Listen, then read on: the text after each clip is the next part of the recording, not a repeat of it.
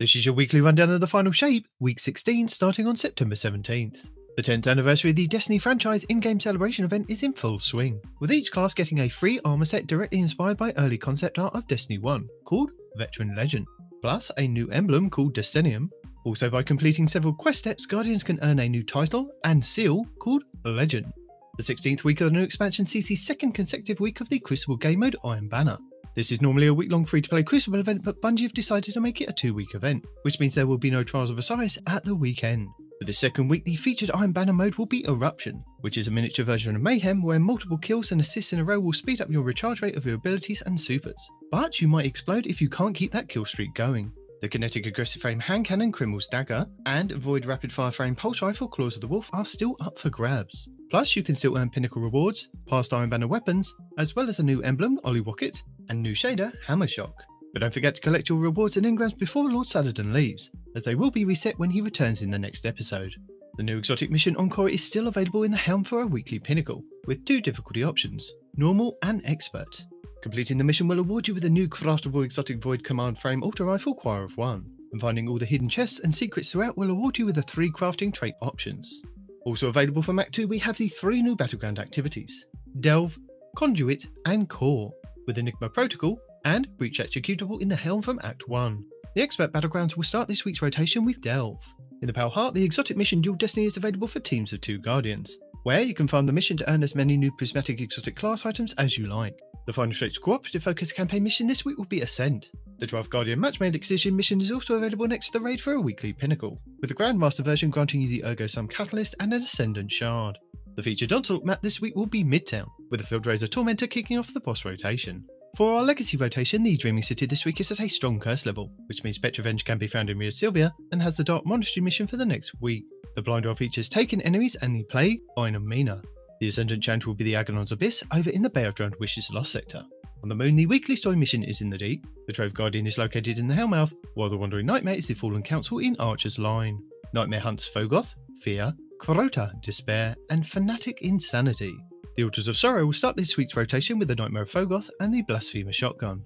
On Europa this week, Praxis the Technocrat will be the Empire Hunt, Cadmus Ridge will be the Eclipse Zone, and the Exo Change will be Safeguard. Dares of Eternity Expert difficulty rounds are Hive, Vex, and Valus Ta'aurc. The Scatterhorn armor set and the Perfectus armor set will be available in Dares of Eternity with Weapon Set 2. Scathelock, Extraordinary Rendition, Brass Attacks, Threaded Needle, Code Duello, Imperial Needle, Far Future, Honor's Edge, Distant Terminus, Interference 6, Shepherd's Watch, and Annual Skate. The Witch Queen Weekly Story mission is the Communion, Order of Reflections Choice, and Order of Reflections Pact. The Wellspring activity will start the week on attack with the Kinetic Bow, Fel Taradiddle, and Bor'gong Hive Knight as the boss. The Lightfall weekly mission is Downfall, the Partition mission will be Hard Reset, and the Vex incursion will be Liming Harbour. The Master Salvation's Edge raid challenge this week is the third encounter repository called Balanced Diet.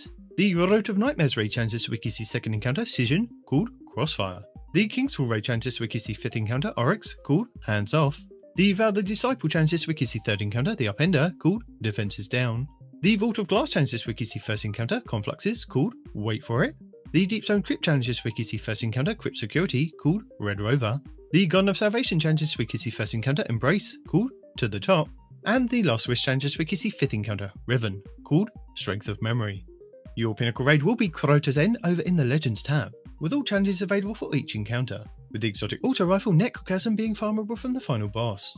The Pinnacle Dungeon will be the Spire of the Watcher over on the Throne World, and the exotic mission rotator will be Vox Obscura, with the Dead Messenger exotic grenade launcher being the main reward, the Season of the Risen's weapon set, plus the Tusk Allegiance armor set.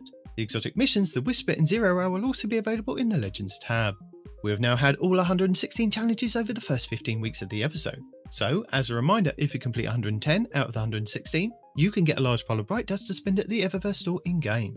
Lost Sectors, Tuesday Veles Labyrinth on the Cosmodrome, Wednesday, Exodus Garden 2A on the Cosmodrome, Thursday, The Broken Deep in the Pale Heart, Friday, The Blooming Deep in the Pale Heart, Saturday, The Forgotten Deep in the Pale Heart, Sunday, Perdition on Europa, and Monday, Bunker E15 on Europa.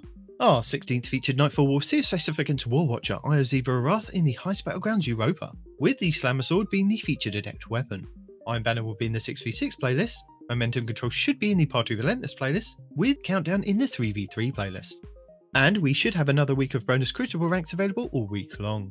Plus, don't forget to keep an eye on Xûr this Friday at Reset to see if he's offering another chance to grab a random rolled exotic class item for 41 strange coins. Also, with us fast approaching the end of the episode, don't forget to start collecting all of your episode's Echoes pass items, any pass rewards from Bungie.net, plus your reward track items and engrams from the Tower vendors before the end of the episode. Don't forget you can start hoarding the bounties that are still available to get a leg up on XP and artifact progression for the next episode. And that's it for the 16th week of the final shape. Thank you for watching. Allons-y.